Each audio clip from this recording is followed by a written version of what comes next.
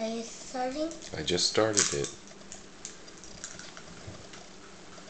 Alright, so what are you doing? I'm cracking eggshells for lunch. I say just for lunch.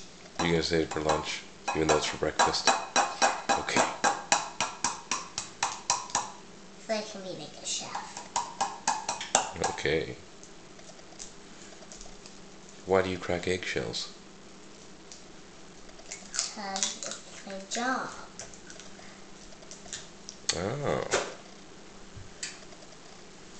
You've done a very good job thus far. Is there any eggshell in here? I don't believe so. I think you did a very good job. There's no eggshell at all. Let's see you crack the last one, then we're going to have to go to commercial. It's like a cooking show. Do you have a little witty story to tell us? Well, I started cracking eggshells when I was about two. Did you? How did you end up in the cracking eggshells business?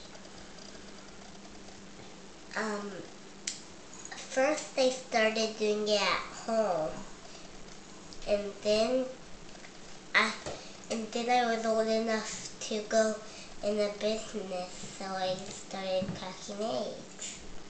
All right. Business And how long have you been in business? since six years, Six years. And how old are you? eighteen. All right. And your name? It's Marlee Claes. All right. Thank you. You're welcome. Yeah.